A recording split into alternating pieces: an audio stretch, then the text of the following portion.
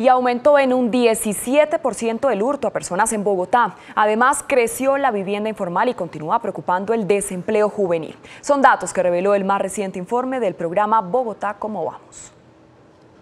Disminuir el hurto a personas, reducir las emisiones de material particulado, bajar el desempleo juvenil y mejorar la seguridad en el transporte público son los retos que tendrá que asumir la próxima administración según el programa Bogotá, ¿cómo vamos? De acuerdo con el más reciente informe de calidad de vida, en el primer semestre de 2019 se registraron 58.092 hurtos a personas, aumentando en un 17% en comparación al mismo periodo de 2018. Cerca del 20% de los hurtos a personas se concentra hoy en el transporte público. Lo que estamos viendo es que en el SITP, por lo regular, son las mujeres las principales víctimas, mientras en Transmilenio los hombres.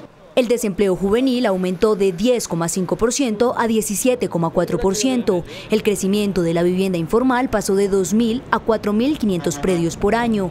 En 2018, las ocupaciones ilegales ascendieron a 2.919. El fenómeno de la vivienda informal que se explica por un lado por las ocupaciones ilegales y por otro por las reformas que se le hace de manera informal a muchas viviendas, sobre todo en sectores populares y estas viviendas no cumplen con los temas de sismo resistencia y terminan desificando algunos sectores. Sin embargo, temas que se destacaron son la disminución en la deserción escolar, fecundidad adolescente y homicidios.